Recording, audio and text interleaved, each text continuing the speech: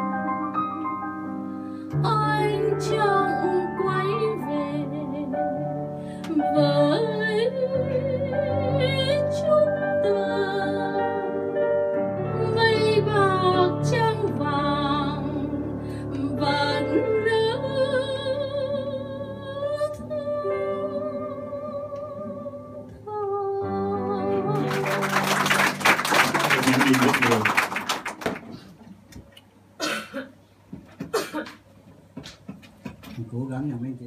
À, ông viết không có nhiều, chỉ khoảng chừng hai chục bài. Mà toàn là những bài rất là nổi tiếng và bài nào về mùa thu hết.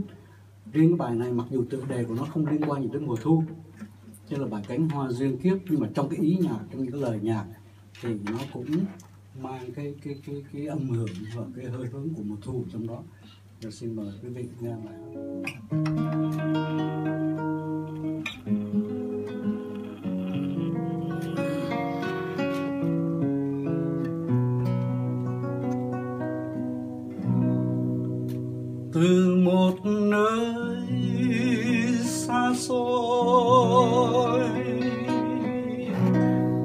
khách bao núi rừng suối đôi anh gửi mấy cánh hoa về người yêu. Kèm vào thư lá thư xanh màu yêu, cánh hoa duyên kiếp này tìm em trong ý viết tơ lòng, gửi tới cho nhau. Rồi ngày mai nhắn mây đưa tờ thư, tới em đôi mắt sầu, kèm theo bao ý thơ từ một nơi xa xôi cách bao núi rừng suối đồi. Anh gửi mấy cánh hoa về người yêu.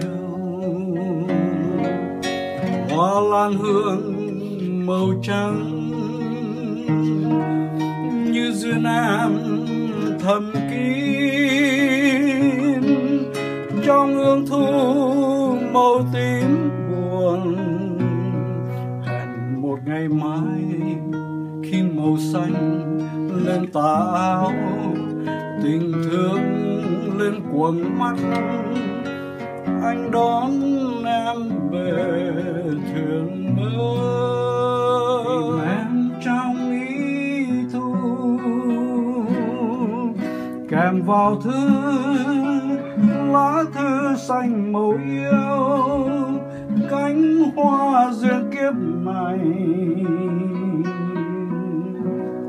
tìm em trong